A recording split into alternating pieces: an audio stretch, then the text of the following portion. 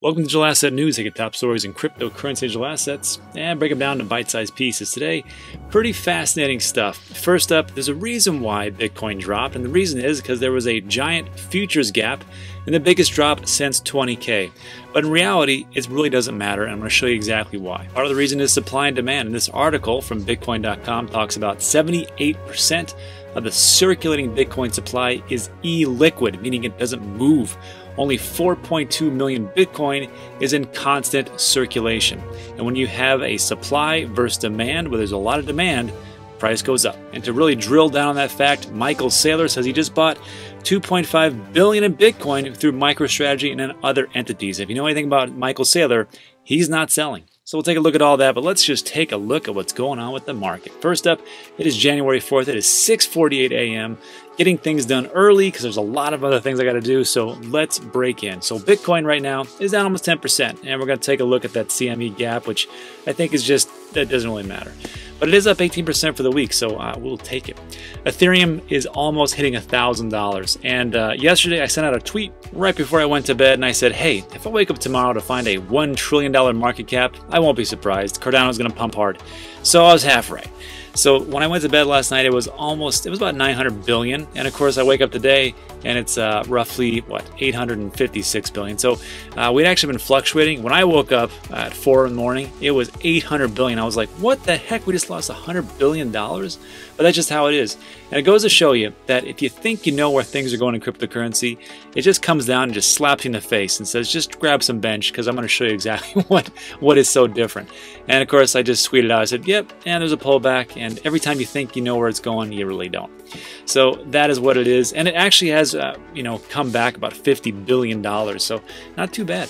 Uh, we'll take a look at the dominance. Bitcoin is slipping a little bit. Uh, it was at almost 71%. Now we're at 67.5. ETH at 3.13.2 dominance. And uh, what that says to me, a little bit of an altcoin rally. So we'll see. Ethereum, uh, you know, we thought it might go to $1,200. Well, here we are at below 1,000, but again, doesn't really matter. Tether's Tether, nobody cares unless you're an auditor. XRP up 2.8%. Congratulations, XRP holders. 22, whopping 22 cents. Watch out.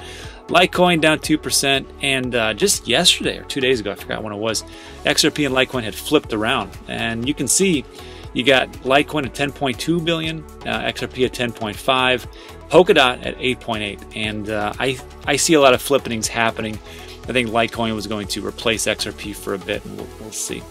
Bitcoin Cash down a percent, but it's up 20 for the week. It can't be that. And Cardano making a pretty darn great run here 38% in seven days and 4% in 24 hours. So, congratulations, Cardano holders pretty great. I will say this, I think Cardano is on its way to a dollar to five dollars in this bull run. And if you haven't already staked with us over at D News, uh, we're almost at 30% uh, saturation. So thanks everybody who has come in.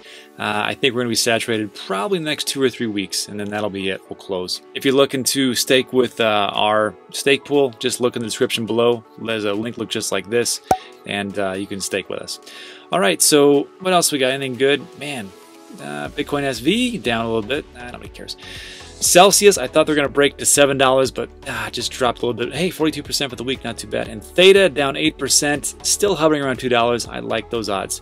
So, again, we're going to have dips and valleys. You have to understand. And uh, hopefully, if you're not new to this, this is like normal everyday stuff. But if you are new, welcome. Uh, just know that this is what usually happens. We have massive run ups, and, and then we take a little bit of a step back. Sometimes it's like, you know, three steps forward, one step back. Uh, and then you know two steps forward then two steps back it's kind of weird but uh, that's just how it all works out but i'm going to tell you why all these price action doesn't matter. And we're going to see Bitcoin at 150K. We're going to see Ethereum at around 10K. We're going to see, like I said, Cardano from a dollar to five.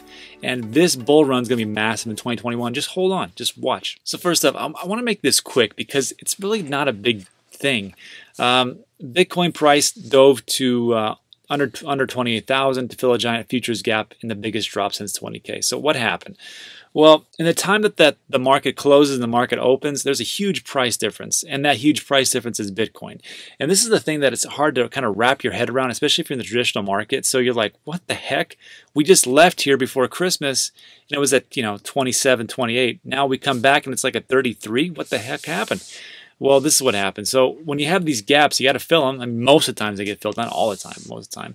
And then uh, all these different uh, pricing orders got filled, and that's just how it is. So price dipped 4,000 in an hour, which in the traditional market is insane. In, in our market, we call that a Monday, and that's just how it is. So there was a drop of 12% one hour. Uh, I don't really care. And then the rest of it is just technical stuff. I really just don't really see the big deal.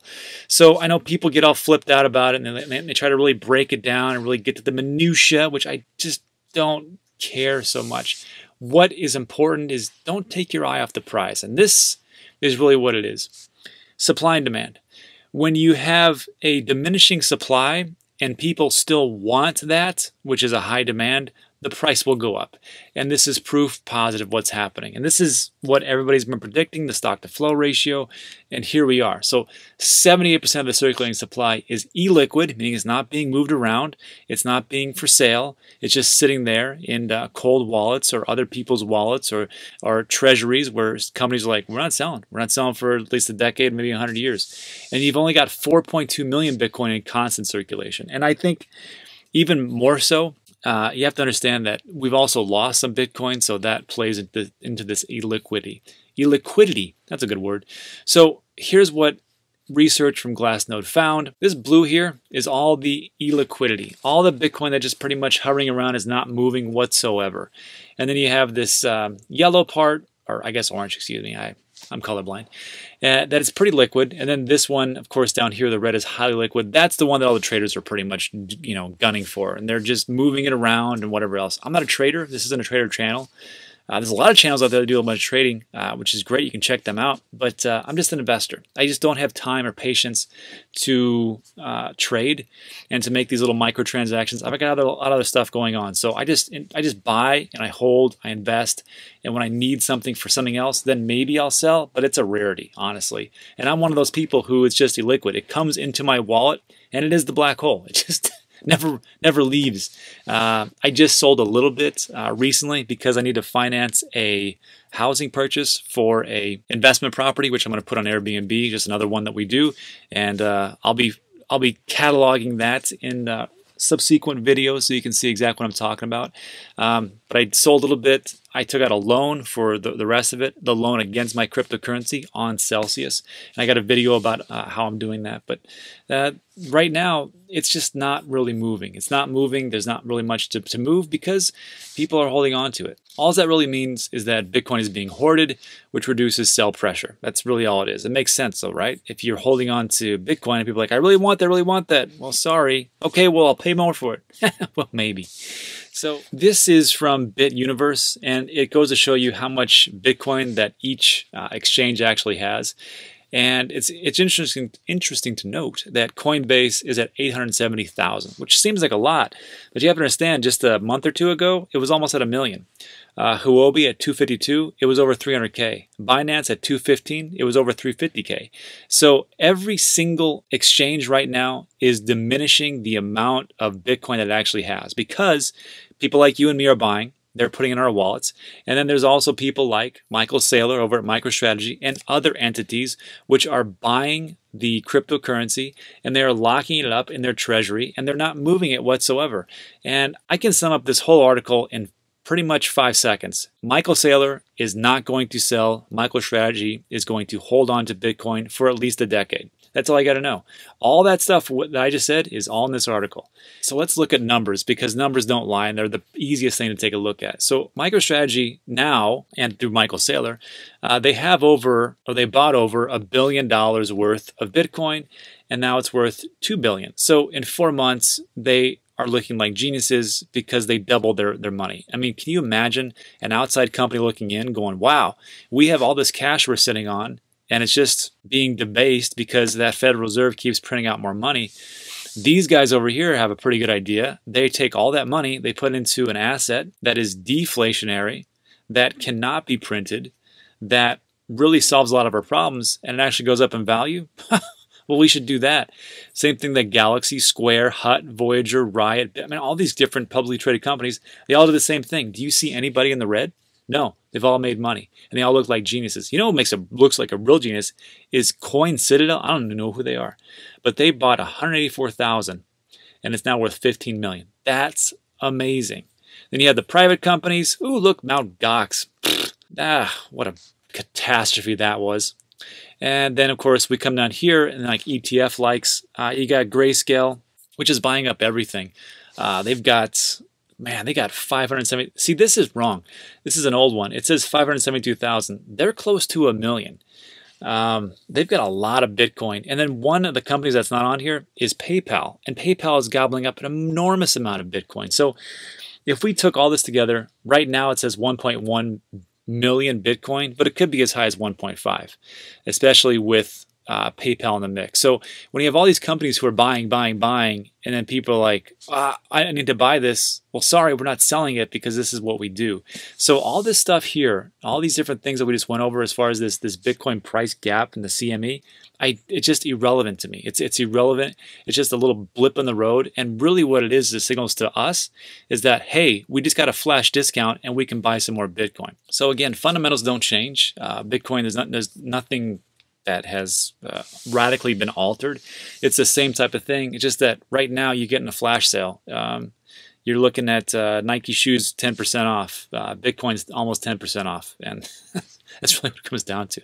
So that's it. And then, like we talked about, this 4.2 million Bitcoin in, in circulation is going to get taken off the market slowly but surely. All those different big companies are working with other entities, like MicroStrategy is working with Coinbase, and they're doing microtransactions to uh, filter up or you know snatch up all the Bitcoin.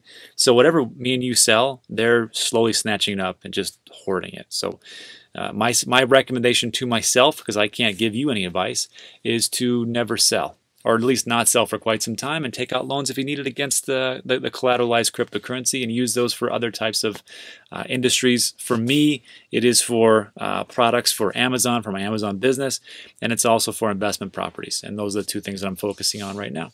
All right, so that is it for today. Also, before I take off, just want to give a quick reminder that uh, I'm looking, still looking for Ryan Alchemist. Uh, Ryan, you are the winner of the Voyager $100. So make sure you go to danteachescrypto.com, click on the contact tab, and send me an email with your information so we can get you all set up. Also, Crypto T, you are the winner of the Trade the Chain membership. Mark Vazo, I've already contacted you via email. I'll send you out an email again today. Make sure that you pick that up. And then Daniel Verastegui, man, I think I butchered that.